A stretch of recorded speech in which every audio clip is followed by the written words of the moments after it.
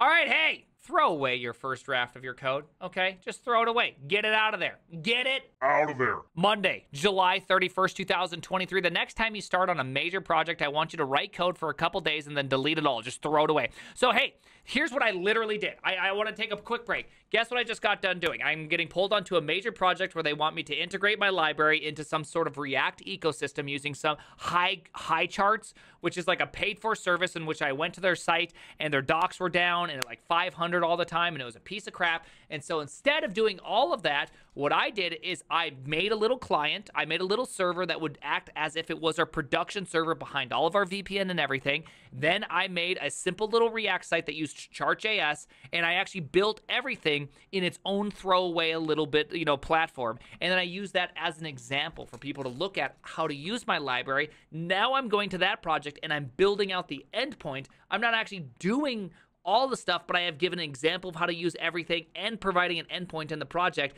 And I'm hoping I never actually have to touch the React part of the uh, of the thing. But it's totally true. Make like these drafts. Use something as something different. You know what I mean? By the way, using React was terrible. I had to use like use ref. I had all these issues. I can I, I, every time I use React, I remember why I hate it every single time. I forget it's not solid.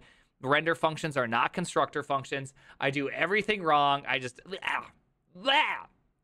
Anyways, I'm serious. And you should probably have some of your best engineers doing this throwaway work. It's going to save you time in the long run. Absolutely. In fact, you know what? I actually think this is such a good point. Uh, and, and why do you delete it? Why delete it instead of just simply reworking it? Uh, one reason to delete it is that when you delete it, you contain in your memory all the places where you fell short, but without any of the exploratory code to kind of put you into a box.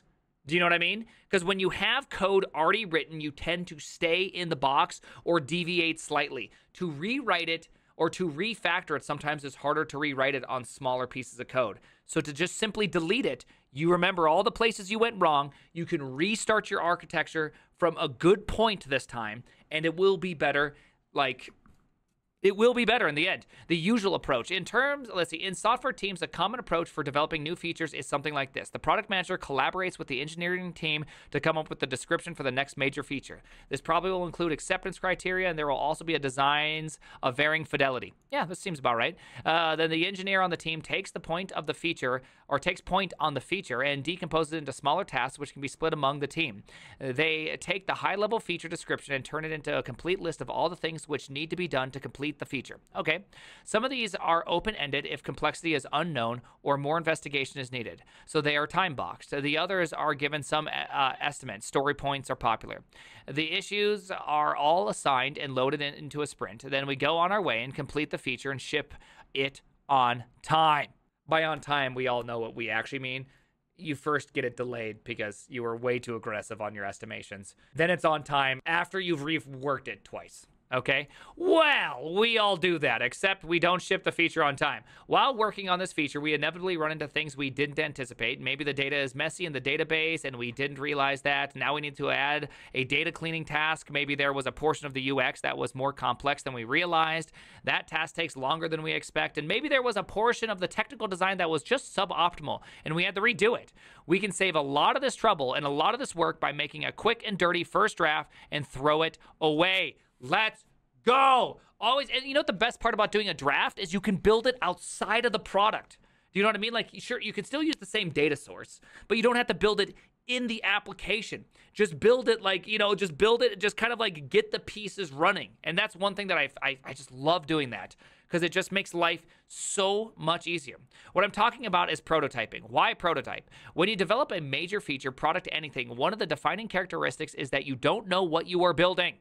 The only way you know what you are building is if you've built it before. This leads to a problem. If you don't know what you are building, how do you know where the rough edges are? How do you know what the design demands and what tactical decisions to make? I love this.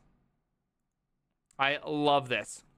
Some of this you can glean from experience. By the way, I always get this thing, and I with this take right here, I get the exact same thing all the time, which is this: you don't need that because this happens on TikTok. Because inevitably, what will uh, what will happen is I'm going to say something like this: learn how to type fast as a programmer. It's going to help you a ton.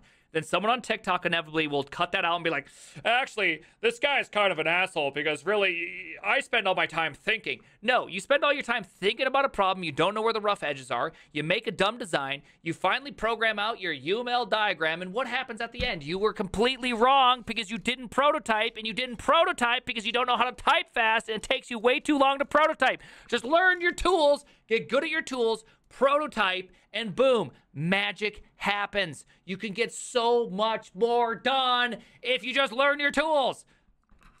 And guess what? A keyboard is one of your tools. Learn it. Do you see that? You see how pretty that looks? Ah! Okay? Learn it. Touch it.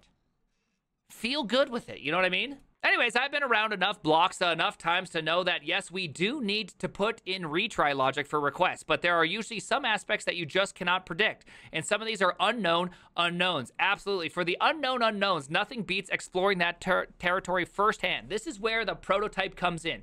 When you develop a prototype, you get uh, to actually go develop the feature a first time so that the real feature work is the second time and you have more information. You know the database is a little messy because you got there and found out. You know, oh my goodness, I love that so much. My database was so messy on my last project. Uh, and then we actually got a V2, which went from JSON to prototypes. And literally, I spent two weeks refixing it, and some of my stuff isn't even fixed up completely yet. You know that this section of the backend code is hard to extend because you had to hack around it with a machete.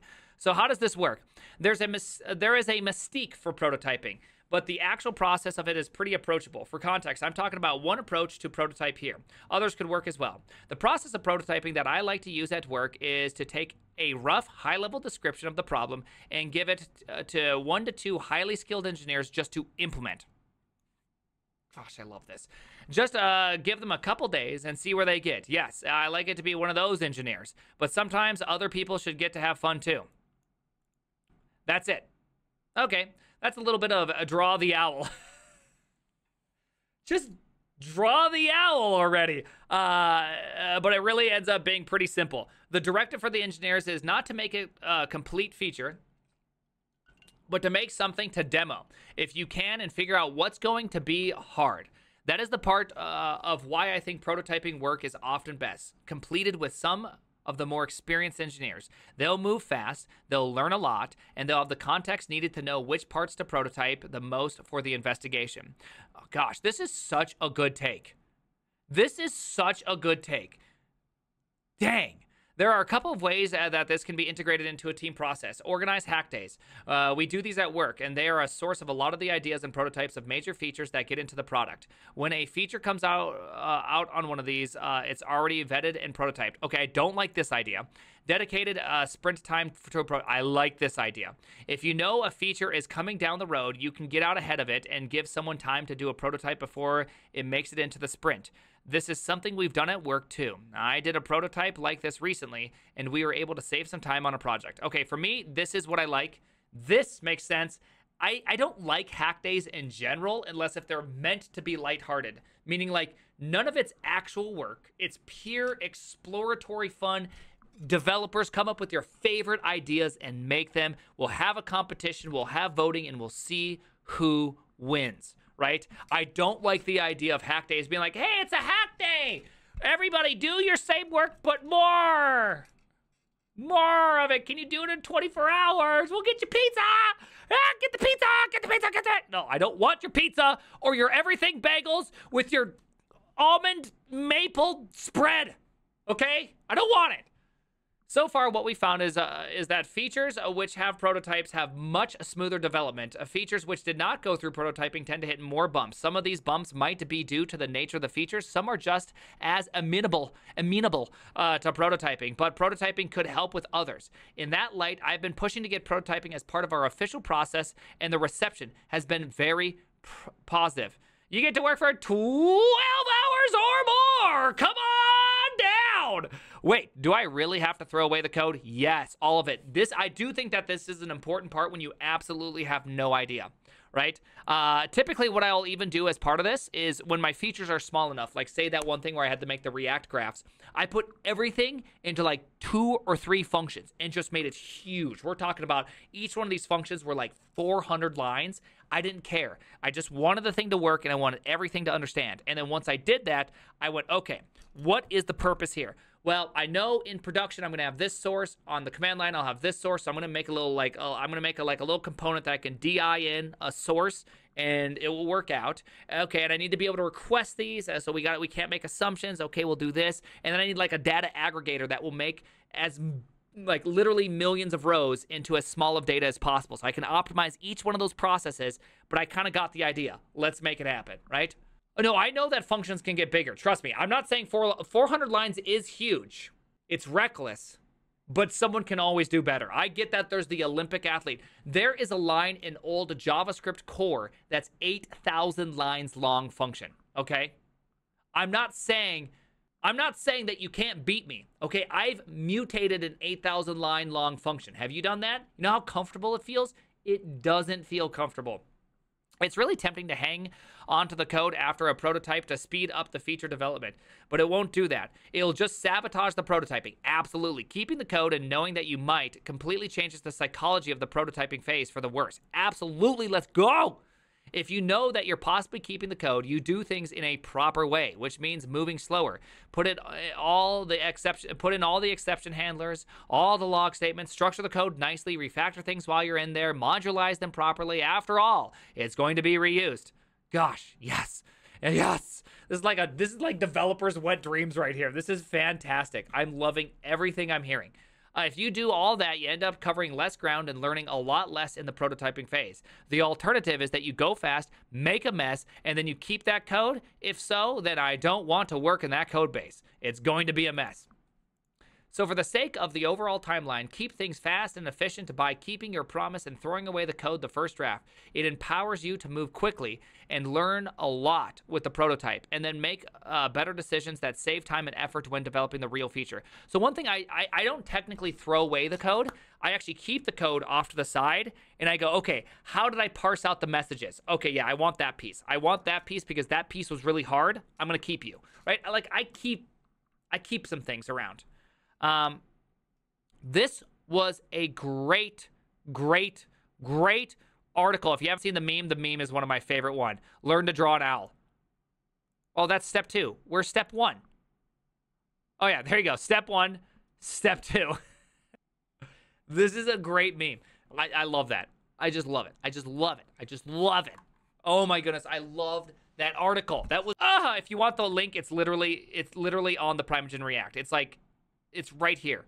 It's right here. This was fantastic. Upvote that SOB. Beautiful. Remember, if you want me to read an article, put it on here so I can see it. The name is the Primeagen.